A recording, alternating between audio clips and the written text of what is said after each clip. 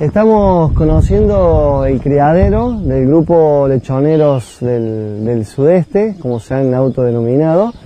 Es un grupo de productores con los cuales empezamos hace ya, ya más de tres años con un grupo de Profam, donde empezamos a recorrer todo un camino de capacitaciones y organización y hoy podemos ver el, fruto de este proyecto eh, mancomunado donde nueve de los productores eh, que empezaron esa aventura empezaron a producir en forma grupal acá en la localidad de, Morrison, eh, en la zona rural, en los predios de, la arquidiócesis de, Villa María.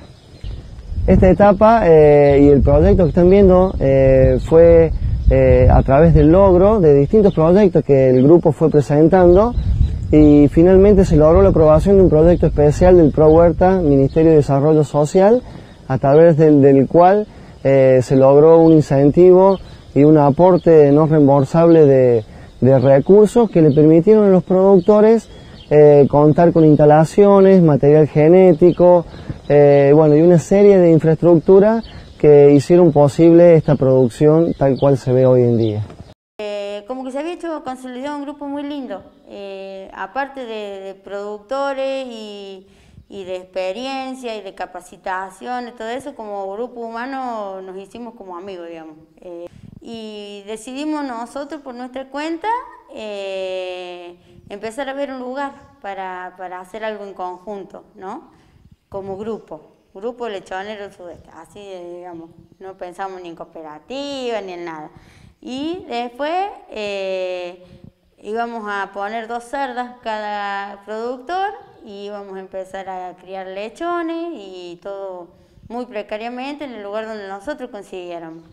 Eh, bueno, acompañado por Claudio, siempre Claudio ahí al pie nuestro, eh, se puso a indagar y investigar y bueno, apareció este proyecto de Pro Huerta INTA que nos gustó muy mucho y bueno, ya como que empezamos a mirar más seria la cosa, entonces dijimos, no, eso no lo podemos hacer en cualquier lado.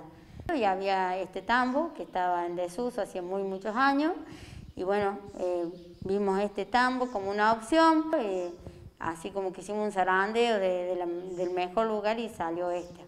Y la idea es eh, ponerle todas las pilas a esto y hacer gordo, digamos, hacer maternidad, que está todo en confinamiento y gordo no tan intensivo como son los confinamientos, que el animal tiene mucho estrés y sufre muy mucho. Acá, por ejemplo, las gestaciones hacerlas en grupo, en corrales, y ya en la última etapa del último mes traer las jaulas para que se acostumbre y después pasarla a la jaula de maternidad por el hecho de que mejorar el rendimiento de la producción, ¿no? de que no se nos mueran tantos lechoncitos, que sea más cuidado ese tema. Eh, hay, que, hay que aprender a tener confianza en el otro, no ser tan individualista. Eh, poner un granito de arena hacia, hacia el otro, la confianza, digamos.